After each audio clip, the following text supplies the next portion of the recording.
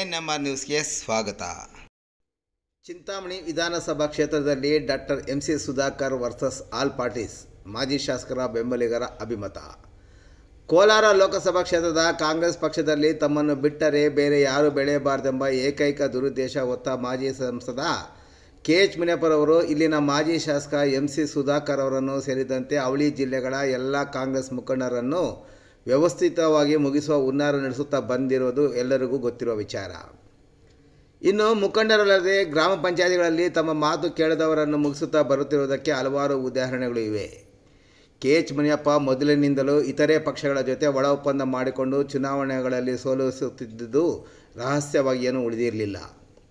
ಇದಕ್ಕೆ ತಾಜಾ ಉದಾಹರಣೆ ಎಂದರೆ ಚಿಂತಾಮಣಿ ತಾಲೂಕಿನ ಕೋನಪಲ್ಲಿ ಗ್ರಾಮ ಪಂಚಾಯತಿ ಅಧ್ಯಕ್ಷ ಸ್ಥಾನದ ಚುನಾವಣೆಯ ಸಾಕ್ಷಿ.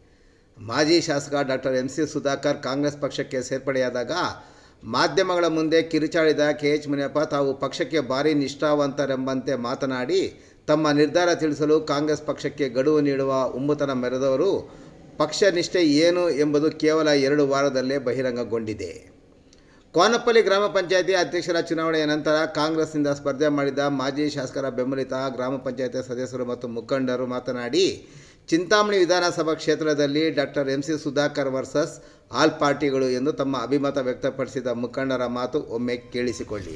ನಾವು ಕೋನಪಲ್ಲಿ ಗ್ರಾಮ ಪಂಚಾಯತಿ ವ್ಯಾಪ್ತಿಯ ಚೊಕ್ಕಳ್ಳಿಯಿಂದ ಆಯ್ಕೆಯಾಗಿರ್ತಕ್ಕಂಥ ಸದಸ್ಯರು. ಇಂದಿನ ಚುನಾವಣೆಯಲ್ಲಿ ನಾವು ಅಧ್ಯಕ್ಷ ಸ್ಥಾನಕ್ಕೆ ನಾಮಪತ್ರ ಸಲ್ಲಿಸಿದ್ದೆವು.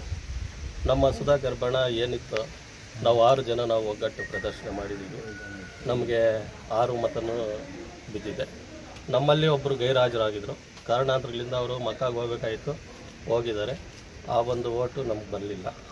ಇನ್ನು ಈ ತಾಲೂಕಿನಲ್ಲಿ ನಡೀತಾ ಇರ್ತಕ್ಕಂಥ ರಾಜಕೀಯ ಎಲ್ಲರಿಗೂ ಗೊತ್ತಿರೋ ವಿಚಾರನೇ. ಈಗ ನಮ್ಮ ಪ್ರತಿಸ್ಪರ್ಧಿ, ಅವರು ಬಿ ಜೆ ಪಿಗೆ ಎರಡು ದಿವಸ ಓಡಾಡ್ತಾರೆ ಆಮೇಲೆ ಒಂದು ನಿಷ್ಠಾವಂತ ಕಾಂಗ್ರೆಸ್ ಅವರು ಇದ್ದರು ನಮಗೂ ಎಲ್ಲೋ ಒಂದು ಕಡೆ ನಾವು ಕಾಂಗ್ರೆಸ್ ಸೇರ್ಪಡೆ ಆಗಿದ್ವಿ ಸುಧಾಕರ್ ಅವರು. ನಮ್ಗೆ ಆ ಒಂದು ಮತ ಬರ್ತದೆ ಅಂತ ನಂಬಿಕೆ ಇತ್ತು. ಅದು ಇವತ್ತು ಹುಸಿಯಾಗಿದೆ. ಇಲ್ಲಿ ಚಿಂತಾಮಣಿ ತಾಲೂಕಲ್ಲಿ ರಾಜಕೀಯ ಏನಾಗಿದೆ? Sudhakar versus all parties. ಯಾವುದೇ ಕಾರಣಕ್ಕೂ ಸುಧಾಕರ್ ಬರಬಾರ್ದು. ವಿಚಾರ ಇಷ್ಟೇ. ಅವ್ರು ಬಂದರೆ ಅಭಿವೃದ್ಧಿ ಆಗ್ತದೆ. ಕೆಲವು ಭ್ರಷ್ಟಾಚಾರಗಳಿಗೆ ಕಡಿವಾಣ ಆಗ್ತದೆ ಅದನ್ನೆಲ್ಲ ತಪ್ಪಿಸೋದಕ್ಕೆ ಈ ಎಲ್ಲ ಹುನ್ನಾರಗಳು ನಡೀತಾನೆ ಇದೆ. ಇನ್ನೂ ಎಷ್ಟು ದಿವಸ ನಡೀತದೋ? ಕಾದು ನೋಡೋಣ. ನಾನು ಓಪನ್ ಆಗಿ ಕೇಳಿದ್ನೆ. ಇಲ್ಲ ನಾವು ನಮ್ಮ ಕಡೆಯಿಂದ ನಿಮ್ಮ ಕಡೆ ನಮ್ಮ ಜೆ ಡಿ ಎಸ್ಗೆ ಸಪೋರ್ಟ್ ಕೊಡ್ತೀವಿ ಅಂತ ಓಪನ್ ಆಗಿ.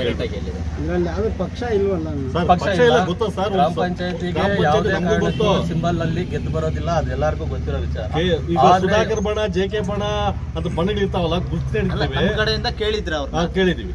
ಓಪನ್ ಆಗಿ ಕೇಳಿದೀವಿ. ನಮ್ಮ ಸಾಧು ಶ್ರೀನಿವಾಸ ಅವ್ರನ್ನ ಕೇಳಿದ್ವಿ. ಫೋನ್ ರೆಸ್ಪಾನ್ಸ್ ರಿಸೀವ್ ಮಾಡೋಲ್ಲ. S Nagaraj T P S ಮಾಜಿ ತಾಲೂಕ್ ಪಂಚಾಯತ್ ಸದಸ್ಯರು, ಅವ್ರಿಗೆ ನಾವು ಪಕ್ಷದಲ್ಲಿ ಪಕ್ಷದಲ್ಲಿದ್ದಾಗ ನಾವು ಕಾಯ ವಾಚ ಮನಸ್ಸಾಗಿ ದುಡ್ದಿದ್ದೀವಿ. ನಾವು ನಮ್ಗೂ ನಮಗೂ ಎಲ್ಲೋ ಒಂದು ಕಡೆ ನಂಬಿಕೆ ಇತ್ತು. ಕಾಂಗ್ರೆಸ್ ಪಕ್ಷ ಈಗ ಚಿಂತಾಮಣಿಯಲ್ಲಿ ಕಾಂಗ್ರೆಸ್ ಧ್ರುವೀಕರಣ ಆಗೈತೆ. ನಮ್ಮ ಸುಧಾಕರ್ ರೆಡ್ಡಿ ಅವರು ಕಾಂಗ್ರೆಸ್ ಪಕ್ಷಕ್ಕೆ ಸೇರ್ಪಡೆ ಆಗಿದ್ದಾರೆ. ಕೆ ಎಚ್ ಮುನಿಯಪ್ಪನವರ ಸಂಬಂಧಿ ಅವರು. ಆ ಒಂದು ಮತ ನಮ್ಗೆ ಲಭಿಸುತ್ತೆ ಅಂತ ನಾವೊಂದು ಆಶಾಭಾವನೆ ಹೊಂದಿದ್ವಿ. ಅದು ಈಗ ಹುಸಿ ಈ ಕ್ಷೇತ್ರದ ಜನ ಇನ್ನು ಈ ಒಂದು ಅನೈತಿಕ ರಾಜಕಾರಣ ಶುದ್ಧವಾದ ರಾಜಕಾರಣ ಮಾಡಿ. ಕಾಂಗ್ರೆಸ್ನ ಉಳಿಸಿ ಬೆಳೆಸೋಕ್ಕೆ ತಮ್ಮ ಮಾಧ್ಯಮದವರು ಸಹಕಾರ ಕೊಡಬೇಕು. ಈ ಒಂದು ಇದು ಫಸ್ಟ್ ಮೆಟ್ಲು. ಸುಧಾಕರ್ ರೆಡ್ಡಿ ಅವರು ಕಾಂಗ್ರೆಸ್ ಸೇರ್ಪಡೆ ಆದ ಮೇಲೆ ಕಾಂಗ್ರೆಸ್ ಪಕ್ಷದ ಕಾಂಗ್ರೆಸ್ ಕಾಂಗ್ರೆಸ್ ಅವರೇ ಕಾಂಗ್ರೆಸ್ ಪಕ್ಷ- ಪಕ್ಷನ ಸೋಲ್ಸಿರೋದು ಇದು ಫಸ್ಟ್ ಟೈಮ್ ಸ್ಟಾರ್ಟಿಂಗ್ ಅವರು ಇವಾಗ ಅವರು ಕಾಂಗ್ರೆಸ್ ಪಕ್ಷದಲ್ಲಿದ್ದಾಗ ಸುಧಾಕರ್ ಅವರು ಪ- ಕಾಂಗ್ರೆಸ್ ಪಕ್ಷನೇ ಅಲ್ವಾ?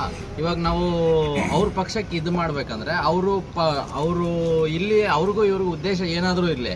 ಪಕ್ಷ ಆದ್ರೂ ನೋಡಿಕೊಂಡು ಅವರು ಮತ ಕೊಡ್ಬೇಕಲ್ವಾ? ಇವಾಗ ಇದು ಒಂದು ಪಕ್ಷ ಅಲ್ಲ. ಇವಾಗ ಇದು ಒಂದು ಪಕ್ಷ ಅಲ್ಲ. ಕಾಂಗ್ರೆಸ್ ಅವರು.